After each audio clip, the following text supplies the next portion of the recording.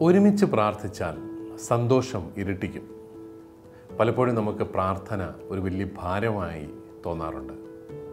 കുഞ്ഞുങ്ങളോടൊക്കെ കുടുംബ പ്രാർത്ഥന എന്ന് പറഞ്ഞാൽ തന്നെ അവർ പതുക്കെ ഉറങ്ങാനായിട്ട് തുടങ്ങും.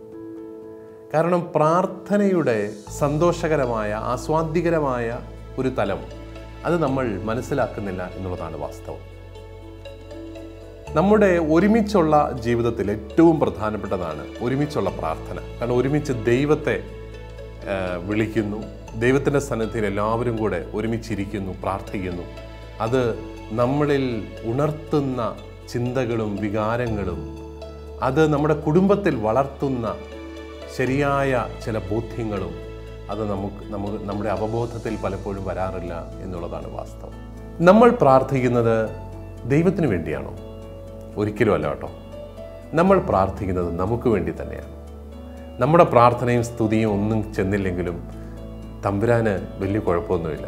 ദൈവം അവനിൽ തന്നെ പൂർണനാണല്ലോ പക്ഷേ നമ്മൾ ദൈവത്തെ വിളിച്ച് ദൈവത്തെക്കുറിച്ച് ചിന്തിച്ച് പ്രാർത്ഥിച്ച് ജീവിക്കുമ്പോൾ അത് നമ്മുടെ കാഴ്ചപ്പാടുകളെ നമ്മുടെ ജീവിതത്തോടുള്ള മനോഭാവങ്ങളെ എല്ലാം മാറ്റിമറിക്കുകയാണ്. അതുകൊണ്ടാണ് പ്രാർത്ഥിക്കാൻ നമ്മൾ ശരിയായി പരിശീലിപ്പിക്കണം.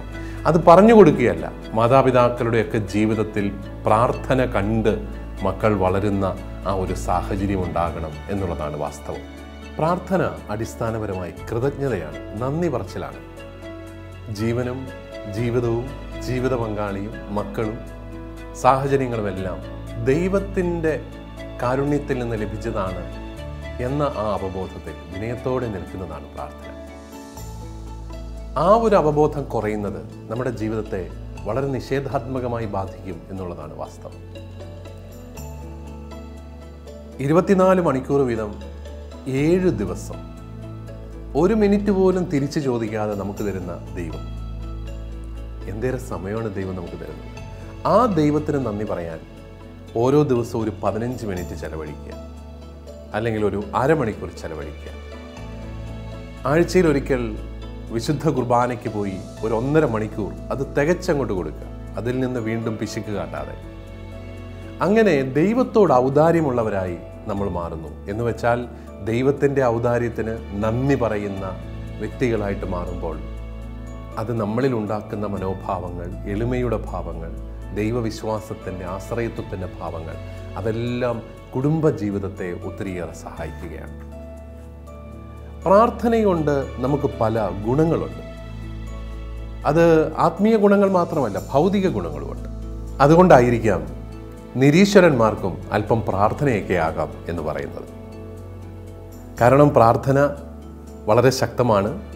പ്രാർത്ഥിക്കും തോറും മനസ്സ് ശാന്തമാകും. ഒരു കുഞ്ഞ് എന്തിനെങ്കിലും എന്തിനെയെങ്കിലും കണ്ട് പേടിച്ച് കഴിയുമ്പോൾ ഓടിച്ചെന്ന് അമ്മയുടെ തോളത്ത് കയറി കെട്ടിപ്പിടിച്ചിരിക്കുന്ന ഒരു അനുഭവം ഉണ്ടല്ലോ. കുറച്ചു നേരം കഴിയുമ്പോൾ കൊച്ചിന്റെ പേടിയെല്ലാം പോകും. എന്ന് പറഞ്ഞതുപോലെയാണ് നമ്മുടെ ജീവിതത്തിൽ നമ്മൾ ദൈവത്തെ കുറേ നേരം കെട്ടിപ്പിടിച്ചിരിക്കുകയാണ്. എന്തിനാ? ജീവിതത്തെ നേരിടാൻ കരുത്ത് വേണം. അപ്പോൾ പ്രാർത്ഥിക്കും തോറും മനസ്സും ശരീരവും ശാന്തമാകും. നല്ല ചിന്തകൾ മനസ്സിലേക്ക് വരും. അതുകൊണ്ടല്ലേ വലിയ മൾട്ടിനാഷണൽ കമ്പനികൾ പോലും അവരുടെ ജീവനക്കാർക്ക് ധ്യാനത്തിന്റെ പരിശീലനം കൊടുക്കുന്നു അടിസ്ഥാനപരമായി അതും പ്രാർത്ഥന തന്നെയാണല്ലോ. അപ്പോൾ മാനസികമായ കഴിവുകളെ വളർത്തുന്നതാണ് ശരിയായ പ്രാർത്ഥന. പ്രാർത്ഥന നന്നായി ശീലിക്കുന്നവർക്ക് മനസ്സിന് പിടിച്ചു നിൽക്കാനുള്ള കഴിവുണ്ട്.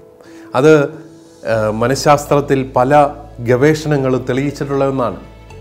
ജീവിതത്തിൽ ബുദ്ധിമുട്ടുകളെ നേരിടുവാൻ വിശ്വാസമുള്ളവർക്ക് കൂടുതൽ കഴിവുണ്ട്. കാരണം അവർ പ്രാർത്ഥിച്ച് ദൈവത്തോട് ഉള്ള ബന്ധത്തിൽ അവർ ആഴപ്പെട്ട് ജീവിക്കുന്നത് കൊണ്ട് തിരിച്ചടികളിൽ നിന്ന് തിരിച്ചു വരാനും അതുപോലെ ബുദ്ധിമുട്ടുകളെ നേരിടാനും അവർക്ക് കൂടുതൽ സാധിക്കുമെന്ന് പല പഠനങ്ങളും വെളിപ്പെടുത്തിയിട്ടുണ്ട്. സ്ഥിരമായി പ്രാർത്ഥിക്കുന്നവരുടെ ഓർമ്മശക്തി വർദ്ധിക്കും എന്ന് പറയാറുണ്ട്. നിങ്ങളുടെ കുഞ്ഞുങ്ങളുടെ ഓർമ്മശക്തി വർദ്ധിപ്പിക്കാൻ കുഞ്ഞുനാൾ മുതൽ അവരെ പരിശീലിപ്പിക്കാൻ ഒരു ടെക്നിക്ക് ഞാൻ പറഞ്ഞുതരാം. രാത്രി കിടക്കാൻ നേരം രാവിലെ എഴുന്നേറ്റപ്പോൾ മുതലുള്ള കാര്യങ്ങളെല്ലാം ഓർക്കാൻ അവരോട് പറയണം. ഓർത്തിട്ട് ഓരോ കാര്യത്തെ ഓർത്ത് ഈശോയ്ക്ക് നന്ദി പറയാനായിട്ട് പഠിപ്പിക്കണം. അങ്ങനെ നന്ദി പറഞ്ഞ് പറഞ്ഞു കഴിയുമ്പോൾ ആദ്യത്തെ ദിവസം വലിയ ബുദ്ധിമുട്ടായിരിക്കും ഓർത്തെടുക്കുക. രണ്ടാമത്തെ ദിവസം വളരെ എളുപ്പമായിരിക്കും. രണ്ടാമത്തെ മൂന്നാമത്തെ ദിവസമൊക്കെ ആകുമ്പോൾ വളരെ എളുപ്പമായിട്ട് പറയും അപ്പോൾ എന്നെ എടുക്കണം? തലേ ദിവസത്തെയും കൂടെ ഓർത്തോളാൻ പറയണം. അങ്ങനെ ഓർത്തോർത്തോർത്തോർത്ത് ഈശോയ്ക്ക് നന്ദി പറഞ്ഞ് നല്ല ഉറക്കവും കിട്ടും അറിയാതെ ഓർമ്മശക്തി വർദ്ധിക്കും. അങ്ങനെ നമുക്ക് വ്യക്തികളെ ഓർത്തെടുക്കാൻ പറ്റും അവരുടെ പേര് ഓർക്കാനായിട്ട് സാധിക്കും. അവരെ ഓർത്ത് ദൈവത്തിന് നന്ദി പറയാനായിട്ട് പറ്റും.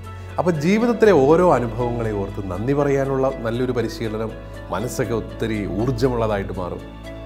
അതോടൊപ്പം ഓർമ്മശക്തി വർദ്ധിക്കും.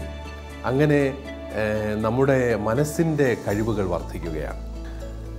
അതോടൊപ്പം പ്രാർത്ഥനയിലൂടെ നമുക്ക് നല്ല ആത്മവിശ്വാസം വർദ്ധിക്കും. നന്നായിട്ട് പ്രാർത്ഥിക്കുന്നവൻ ആത്മവിശ്വാസമുണ്ട്. കാരണം അവന്റെ കൂടെയുള്ളത് ദൈവമാണ്. സർവശക്തനായ ദൈവമാണ് അവന്റെ കൂടെയുള്ളത്. എന്നോ മരിച്ചുപോയ ഒരു ചരിത്രപുരുഷനോടല്ല അവൻ പ്രാർത്ഥിക്കുന്നത്. മറിച്ച് ഇന്നും ജീവിക്കുന്ന ഈശോയോടാണ്. ആ പ്രാർത്ഥന അവന്റെ മനസ്സിനെ കൂടുതൽ ശക്തിയുള്ളതാക്കും. ആത്മശക്തിയുള്ള വ്യക്തികളായിട്ട് മാറാനായിട്ട് സാധിക്കും. പ്രാർത്ഥിക്കുന്നവരിൽ വിനയം വർദ്ധിക്കും. കാരണം എന്താ? ഞാൻ എല്ലാം തികഞ്ഞവനാണ്. എനിക്ക് ആരും ആവശ്യമില്ല എന്നൊക്കെ ചിന്തിക്കുന്ന മനുഷ്യൻ ദൈവത്തിന്റെ സന്നിധിയിൽ മുട്ടുകുത്തുന്നതോടെ അവൻ വിനയം ശീലിക്കാൻ ആരംഭിക്കുകയാണ്. ദൈവമേ നീയാണെല്ലാം. എനിക്ക് എന്റെ ജീവിതത്തെ മുന്നോട്ട് കൊണ്ടുപോകാനായിട്ട് കഴിവില്ല. നീ സഹായിച്ചാൽ മാത്രമേ സാധിക്കത്തുള്ളൂ. നമ്മുടെ അഹങ്കാരത്തിന്റെ തലങ്ങളെല്ലാം മാറിയിട്ട് നമ്മളിൽ വിനയം വർദ്ധിക്കുന്ന ഒരു മേഖലയാണ് പ്രാർത്ഥന എന്ന് പറയുന്നത്. കുരിശിൽ മരിച്ച് ഉത്ഥാനം ചെയ്ത ഈശോയോട് പ്രാർത്ഥിക്കുന്നവന് ആത്മധൈര്യവും വർദ്ധിക്കും. ജീവിതത്തിലെ ഏതു പ്രശ്നങ്ങളെ നേരിടുവാൻ ഏത് കുരിശുകളെ നേരിടുവാനുള്ള കരുത്ത് അവന് വർദ്ധിച്ചു വരികയാണ്. അങ്ങനെ നോക്കുമ്പോൾ പ്രാർത്ഥന കൊണ്ട് ഒരു വ്യക്തിക്ക് എത്രമാത്രം നന്മകളാണ് ഉണ്ടാകുന്നത്. അവന്റെ മനസ്സിൽ ആത്മീയവും മാനസികവും ഒക്കെ ആയിട്ടുള്ള കഴിവുകളും ശക്തികളുമെല്ലാം വർദ്ധിക്കുകയാണ്. ഇതുപോലെ തന്നെയാണ് ഒരുമിച്ച് പ്രാർത്ഥിക്കുന്ന കുടുംബങ്ങൾക്കും ഒത്തിരി നന്മകൾ ലഭിക്കുകയാണ്. ഒന്നാമതായിട്ട് ഒരുമിച്ച് പ്രാർത്ഥിക്കുന്ന കുടുംബങ്ങൾക്ക് ഐക്യബോധം വളരെ വലുതായിരിക്കും. അതുകൊണ്ടാണ് അപ്പന്മാരും ഒക്കെ പ്രാർത്ഥിക്കാനായിട്ട് വരണമെന്ന് പറയുന്നത്. അപ്പന്മാരോട് എനിക്കൊരു കാര്യം പറയാനുള്ളത് നിങ്ങളുടെ ആമക്കൾ വിശ്വാസമുള്ളവരായിട്ട് വളരണമെങ്കിൽ നിങ്ങൾ വിശ്വസിക്കണം കേട്ടോ. ഭാര്യ മാത്രം വിശ്വസിച്ചാൽ പോരാ. അങ്ങനെ അപ്പനും അമ്മയും മക്കളും എല്ലാം കൂടെ ഒരുമിച്ചിരുന്ന് പ്രാർത്ഥിക്കുന്ന ഒരു സ്വഭാവം രൂപീകരിക്കുമ്പോൾ അത് ആ കുടുംബത്തിന്റെ തന്നെ ഐക്യത്തെ വർദ്ധിപ്പിക്കും. ഞങ്ങൾ ഒന്നാണ് എന്നുള്ളൊരു ചിന്ത. ദൈവമേ നീ ഞങ്ങളുടെ കുടുംബത്തെ ഈ ഒരുമയിൽ സംരക്ഷിക്കണമേ എന്നുള്ള പ്രാർത്ഥന അവനിൽ നിന്ന് ഉയരുകയാണ്. ചില കുടുംബങ്ങളിൽ മാതാപിതാക്കളും മക്കളും ഒക്കെ പരസ്പരം പ്രാർത്ഥിക്കും. മാതാപിതാക്കൾ പപ്പായ്ക്കും മമ്മിക്ക് വേണ്ടി കുട്ടികൾ പപ്പായ്ക്കും മമ്മിക്ക് വേണ്ടി പ്രാർത്ഥിക്കുന്നു. ഭാര്യ ഭർത്താവിന് വേണ്ടി പ്രാർത്ഥിക്കുന്നു. ഭർത്താവ് ഭാര്യയ്ക്ക് വേണ്ടി പ്രാർത്ഥിക്കുന്നു. ഇതെല്ലാം കുടുംബജീവിതത്തിന്റെ ഐക്യവും കൂട്ടായ്മയും വളർത്തുന്നതാണ്. അതോടൊപ്പം നല്ല കരുത്തുള്ള ഒരു കുടുംബമായിട്ട് മാറും. കാരണം കൂടെ നടക്കുന്ന ദൈവത്തെ തിരിച്ചറിയുന്ന കുടുംബമാണ് ഒരുമിച്ചിരുന്ന് പ്രാർത്ഥിക്കുന്നത്. ദൈവം കൂടെയുണ്ടെന്നുള്ളൊരു ബോധ്യം അവർക്ക് ഒരു വലിയ ശക്തിയായിട്ട് മാറുകയാണ്. ഒരുമിച്ചുള്ള പ്രാർത്ഥന മനസ്സിന്റെ മുറിവുകളെ സുഖപ്പെടുത്തും. മനസ്സിൽ മുറിവുകളില്ലാത്ത ആരെങ്കിലും ഉണ്ടോ? എല്ലാവർക്കും ഉണ്ട്. എന്നാൽ എല്ലാവരും കൂടെ ഒരുമിച്ചിരുന്ന് പ്രാർത്ഥിക്കുമ്പോൾ ആരും ഒറ്റയ്ക്കല്ലെന്നും എല്ലാവരും കൂടെയുണ്ടെന്നും കൂടെ കൂടെ ഇരുന്ന് പരസ്പരം കരുതുന്ന സമൂഹമാണ് കുടുംബമെന്നും ഒക്കെയുള്ളൊരു ചിന്ത വരുമ്പോൾ മനസ്സിനെ അവരുടെ മനസ്സുകളെ അത് സൗഖ്യപ്പെടുത്തുന്നു മുറി- മുറിപ്പാടുകളെ സൗഖ്യപ്പെടുത്തുന്ന അനുഭവമായി പ്രാർത്ഥന മാറുകയാണ്. പ്രാർത്ഥന കുടുംബ പ്രാർത്ഥന കുടുംബത്തിന്റെ ചിട്ടകളെയും നിഷ്ഠകളെയും വിലപ്പെടുത്തും നിങ്ങൾക്കറിയാം ഏത് കുടുംബത്തിലും അതിന്റെതായ ചിട്ടകളും നിഷ്ഠകളും ഉണ്ട്. രാവിലെ എഴുന്നേക്കാൻ ഒരു സമയമുണ്ട്. ചുമ്മാ തോന്നി മാസം വന്ന് കയറാൻ പറ്റത്തില്ല. കിടന്ന് ബഹളം ഉണ്ടാക്കാൻ പറ്റില്ല. ചില ചിട്ടകളൊക്കെ ഉണ്ട്. രാത്രി മിണ്ടാതെ കിടന്ന് ഉറങ്ങിക്കണം. രാവിലെ എഴുന്നേക്കണം എഴുന്നേറ്റ് കഴിഞ്ഞാൽ ശരീരശുദ്ധിയൊക്കെ വരുത്തണം. അപ്പോൾ രാവിലെ എഴുന്നേൽക്കുന്നു എഴുന്നേൽക്കുമ്പോഴേ കുരിശ് വരച്ചിട്ട് എഴുന്നേൽക്കുന്നു. അതൊക്കെ നല്ല ചിട്ടകളാണ്. നമ്മുടെ കുടുംബങ്ങളിൽ പണ്ട് ഒരു വേദപാഠവും ഇല്ലാഞ്ഞ കാലത്ത് മുതൽ നമ്മൾ കാർന്നോമാൻ അനുഷ്ഠിച്ചിരുന്ന ചിട്ടകളാണ്. അതോടൊപ്പം വൈകുന്നേരമായാൽ കുരിശുമണി അടിച്ചാൽ എല്ലാവരും കൂടി ഇരുന്ന് പ്രാർത്ഥിക്കുന്നു. അപ്പം ചില നിഷ്ഠകൾ കുടുംബത്തെ ഒരുമിച്ച് മുന്നോട്ട് കൊണ്ടുപോകുന്ന ചില നിഷ്ഠകൾ ശക്തിപ്പെടുത്താൻ ഈ കുടുംബ പ്രാർത്ഥനയ്ക്ക് വലിയ ഒരു ശക്തിയുണ്ട്. അതുകൊണ്ടാണ് നമ്മുടെ കാർന്നോന്മാർ കുട്ടികൾ പരീക്ഷയിൽ തോറ്റാലൊന്നും വലിയ സങ്കടം അവർക്കില്ലായിരുന്നു. കാരണം അന്ന് അങ്ങനത്തെ ഒരു സംവിധാനമായിരുന്നു കേട്ടോ. പക്ഷേ കുരിശുവരയ്ക്ക് ഉറങ്ങിയാൽ അതൊരു വലിയ ഭൂകമ്പം തന്നെയായിരുന്നു വീട്ടിൽ. കാരണം ചില ചിട്ടകളും നിഷ്ഠകളും അവർ പഠിപ്പിക്കുകയാണ്. അത് വളരെ പ്രധാനപ്പെട്ട കാര്യമാണ് കുടുംബജീവിതത്തിന്റെ ഐക്യത്തെ സംബന്ധിച്ചിടത്തോളം. വ്യക്തിപരമായ പ്രാർത്ഥന വ്യക്തികളുടെ എളിമയെ വർദ്ധിപ്പിക്കും എന്നത് എന്നുള്ളതുപോലെ തന്നെ കുടുംബത്തിന്റെ പ്രാർത്ഥന കുടുംബത്തിന്റെ വിനയാന്വിതമായ അസ്തിത്വത്തെയും സഹായിക്കുകയാണ്. കാരണം നമ്മൾ മാത്രം കൂടിയാൽ ഒന്നും ആകത്തില്ലെന്നും ദൈവം നമ്മുടെ മധ്യത്തിലുണ്ടെങ്കിൽ മാത്രമേ നമുക്ക് മുന്നോട്ട് പോകാൻ സാധിക്കത്തുള്ളൂ എന്നും ഒക്കെയുള്ള ഒരു വിശ്വാസത്തിൽ വളരാൻ എല്ലാവർക്കും സാധിക്കും. നമ്മുടെ കൊച്ചു കുഞ്ഞുങ്ങൾ അവർ വളർന്നു വരുന്ന സമയത്ത് അവരുടെ ഒരു കാല ഒരു സമയത്തെ ചിന്ത മാതാപിതാക്കളാണ് ദൈവങ്ങൾ എന്നാണ്. അത്ഭുത അന്നദാതാക്കളാണ് മാതാപിതാക്കൾ. പക്ഷെ അതൊക്കെ മാറി. അവർ സാധാരണ മനുഷ്യരാണെന്നും അവരും ദൈവത്തെ വിളിച്ചാണ് ജീവിക്കുന്നതെന്നും ഒക്കെ ഒരു ബോധ്യം ഉണ്ടാകുമ്പോൾ മക്കളുടെ ഉള്ളിലും അറിയാതെ ഈ എളിമയുടെയും വിനയത്തിന്റെയും എല്ലാം ഭാവങ്ങൾ രൂപീകൃതമാവുകയാണ്. ജീവിതത്തിലെ സന്തോഷങ്ങളെയും സങ്കടങ്ങളെയും ഭാവാത്മകമായി സ്വീകരിക്കുവാനും കുടുംബ പ്രാർത്ഥന നമ്മളെ സഹായിക്കുന്നു. വിശുദ്ധ പൗലോസ്ലീഹ തെസലോനിക്കയിലെ സഭയ്ക്ക് എഴുതിയ ഒന്നാം ലേഖനം അഞ്ചാം അധ്യായം പതിനാറ് മുതലുള്ള തിരുവചനങ്ങളിൽ പറയുന്നു എപ്പോഴും സന്തോഷത്തോടെ ഇരിക്കുവിൻ ഇടപെടാതെ പ്രാർത്ഥിക്കുവിൻ എല്ലാ കാര്യങ്ങളിലും നന്ദി പ്രകാശിപ്പിക്കുവിൻ.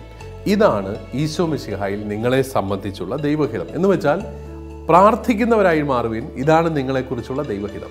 പ്രാർത്ഥന എന്ന് പറഞ്ഞാൽ അതാണല്ലോ സന്തോഷപൂർവം ദൈവത്തിന് നന്ദി പറയുക. ജീവിതത്തിൽ സംഭവിക്കുന്നതിന്റെ എല്ലാം പിന്നിൽ ദൈവിക പദ്ധതി ഉണ്ടെന്നുള്ള വലിയ ബോധ്യത്തോടെ ജീവിക്കുവാൻ ഒരുമിച്ചിരിക്കുവാൻ ഈ കുടുംബ പ്രാർത്ഥന നമ്മളെ സഹായിക്കുകയാണ്.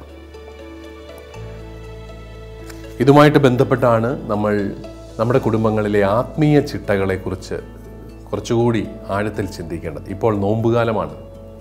നോമ്പ് നോക്കുന്നതൊക്കെ കുടുംബത്തിന്റെ ആത്മീയ ആരോഗ്യത്തെ ഒത്തിരി സ്വാധീനിക്കും. ദൈവചിന്ത ജീവിതത്തിൽ നിറയുവാൻ ഏറ്റവും നല്ല മാർഗം നോമ്പും ഉപവാസവുമാണ്. അമ്പത് ദിവസം തുടർച്ചയായി നോമ്പ് നോക്കുക എന്ന് പറയുമ്പോൾ ഇഷ്ടപ്പെട്ട ഭക്ഷണം കിട്ടാതെ വരുമ്പോൾ എന്തുകൊണ്ട് എന്നൊരു ചിന്ത കുട്ടികൾ ഉൾപ്പെടെയുള്ളവരിൽ ഉണ്ടാവുകയും ഈശോയുടെ പീഡാനുഭവത്തോട് ചേർന്ന് ഞങ്ങളും ചെറിയ പരിത്യാഗങ്ങൾ ചെയ്യേണ്ടതാണ് എന്നുള്ള ആ ബോധ്യത്തിൽ വളരാൻ അതവരെ സഹായിക്കുകയും ചെയ്യും. വെള്ളിയാഴ്ച മാംസവർജനമാകാം വെള്ളിയാഴ്ചകളിലെ ഉപവാസമാകാം ഇതെല്ലാം പ്രധാനപ്പെട്ടതാണ് കുടുംബത്തിൽ. മക്കൾക്ക് വേണ്ടിയിട്ട് വെള്ളിയാഴ്ചകളിൽ ഉപവസിക്കുന്ന മാതാപിതാക്കളെക്കുറിച്ചുള്ള ഓർമ്മ മക്കൾക്ക് എന്തോ ഒരു വലിയ ശക്തിയാണ്. അതോടൊപ്പം എല്ലാ ദിവസവും രാവിലെ എഴുന്നേറ്റ് ഒരുമിച്ചിരുന്ന് പ്രാർത്ഥിക്കുന്ന മാതാപിതാക്കളെ കണ്ടു വളരുന്ന മക്കൾക്ക് അത് അവരുടെ ജീവിതത്തിൽ എന്നും ഒരു വലിയ ശാന്തിയുടെ ഓർമ്മയാണ്. അങ്ങനെ നോക്കുമ്പോൾ ആത്മീയമായ ചിട്ടകളിൽ വളരേണ്ടതും വളരാനും ഈ കുടുംബ പ്രാർത്ഥന നമ്മളെ എല്ലാവരെയും സഹായിക്കും എന്നുള്ളതാണ് വാസ്തവം. ഇന്നത്തെ വചനാധ്യാനത്തിനായിട്ട് മത്തായുടെ സുവിശേഷം പതിനേഴാം അധ്യായം ഒന്ന് മുതൽ പതിനഞ്ച് വരെയുള്ള വാക്യങ്ങളിൽ ഈശോയുടെ താബോറിലെ രൂപാന്തര അനുഭവം. അത് നിങ്ങൾക്ക് ഞാൻ നിർദ്ദേശിക്കുകയാണ്. പത്രോസും ശിഷ്യന്മാരും ഈശോയും കൂടെ താബൂറിലേക്ക് മലകയറി പോകുന്നു വലിയ ആത്മീയ അനുഭവം അവിടെ ഉണ്ടായി. അപ്പോൾ പത്രോസിന് ആഗ്രഹം എന്താ? ഇവിടെ കൂടാരം അടിച്ച് ഇവിടെ തന്നെ കൂടിയാലോ? അപ്പോൾ ഈശോ പറഞ്ഞു അങ്ങനെയല്ല. പ്രാർത്ഥന നിന്നെ മലമുകളിൽ തളച്ചിടുകയല്ല വേണ്ടത്. താഴ്വാരത്തിലേക്ക് പോകണം സാധാരണ ജീവിതത്തിന്റെ ശക്തിയായി മാറുന്നതാണ് പ്രാർത്ഥന. നീ പ്രാർത്ഥിക്കുന്നത് ജോലി ചെയ്യാൻ സാധാരണ ജീവിതത്തിൽ മടങ്ങി വരാനും സാധാരണ ജീവിതത്തിൽ ദൈവസാന്നിധ്യ അവബോധത്തോടെ പ്രവർത്തിക്കാനും വേണ്ടിയിട്ടാണ്. അതുകൊണ്ട് താബൂറിലെ കൂടാരത്തിന്റെ സുരക്ഷിതത്വത്തിൽ കഴിഞ്ഞാൽ പോരാ. നീ താഴെ ഇറങ്ങി വരണം എന്ന് പത്രോസിനോട് പറയുന്ന ഈശോയെ നമുക്കവിടെ കാണാനായിട്ട് സാധിക്കും. രണ്ട് ചോദ്യങ്ങൾ നിങ്ങളുടെ വിചിന്തനത്തിനായിട്ട് ഞാൻ തരികയാണ്. പ്രാർത്ഥന വ്യക്തികളെയും കുടുംബങ്ങളെയും എങ്ങനെ വളർത്തുന്നു? രണ്ടാമതായി ചിട്ടകളും അച്ചടക്കവും കുടുംബജീവിതത്തെ എങ്ങനെ സഹായിക്കുന്നു? നിങ്ങൾ കുടുംബത്തിൽ പുലർത്തുന്ന നല്ല ചിട്ടകൾ ഏതൊക്കെയാണ്? പൊട്ടിച്ചിരികളുടെ കുടുംബത്തിന്റെ അടുത്ത എപ്പിസോഡിനായിട്ട് നമുക്ക് കാത്തിരിക്കാം. ദൈവം നിങ്ങളെ സമൃദ്ധമായി അനുഗ്രഹിക്കട്ടെ.